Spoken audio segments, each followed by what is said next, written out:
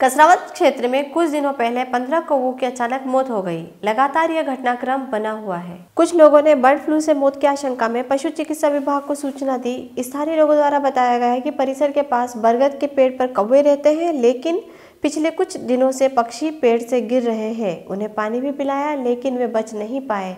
पक्षियों के सैंपलों की जाँच रिपोर्ट पॉजिटिव आई है। पशु चिकित्सक ललित पाटीदार ने बर्ड फ्लू की पुष्टि की।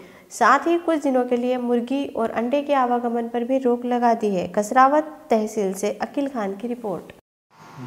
सर ये जो बर्ड फ्लू को लेकर सैंपल के जाँच के लिए सैंपल भेजे थे इसमें क्या पाया गया?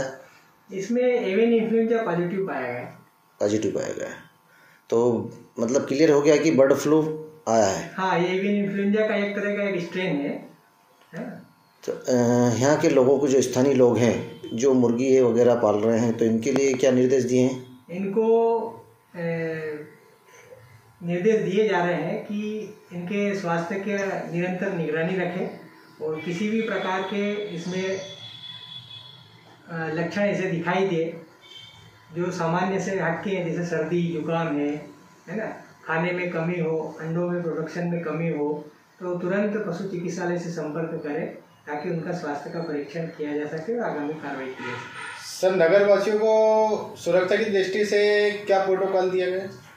सुरक्षा की दृष्टि से सबसे पहले तो ऐसा है कि जो भी पोल्ट्री पालक हैं उनको ये बताया गया है कि पशुओं और उनके जो पोल्ट्रीज हैं उनका निरंतर निगरानी में रखें किसी भी प्रकार के लक्षण दिखते हैं सर्दी जुकाम के तो पशु चिकित्सालय से संपर्क करें और उचित उनका उपचार करवाएँ।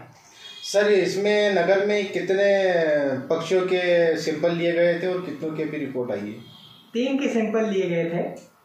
उसमें पुष्टि हो रिपोर्ट आ गई पुष्टि हो गई। पुष्टि में क्या बताया गया सर कैसा एवियन इन्फ्लुएंजा पॉजिटिव पाया गया।